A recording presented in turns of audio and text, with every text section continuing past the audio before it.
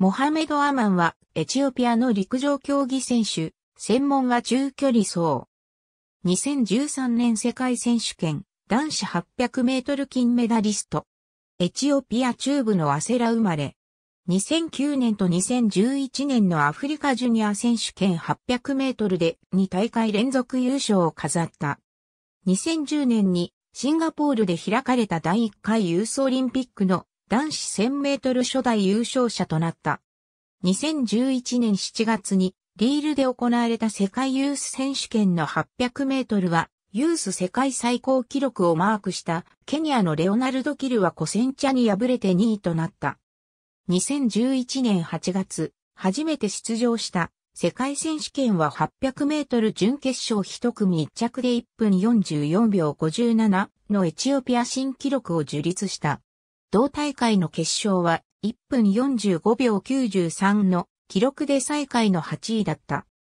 9月10日、リエーティの競技会でデイビッド・レクタル・ディシャに敗れたが、自らのエチオピア記録を1分43秒37に伸ばし、同時にコセンチャの記録を更新するユース、世界最高記録を樹立した。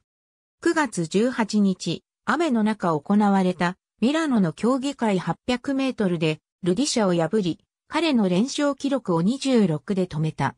2012年3月の世界室内選手権800メートルを制し、史上最年少の優勝者となった。8月9日のロンドンオリンピック800メートル決勝は1分43秒22エチオピア記録を更新したが、世界新記録を樹立して優勝したルディシャから2秒以上を遅れる6位だった。同年のダイヤモンドリーグは8月17日の DN ガランで優勝。8月30日の最終戦、ベルトクラッセチューリッヒで1分42秒53のエチオピア新記録をマークして、ルディシャを破り、800メートル年間王者に輝いた。2013年8月にモスクワで開かれた世界選手権800メートルはラスト20メートルで前を走るアメリカのニック・シモンズをかわして勝利、19歳で世界選手権金メダリストに輝いた。ありがとうございます。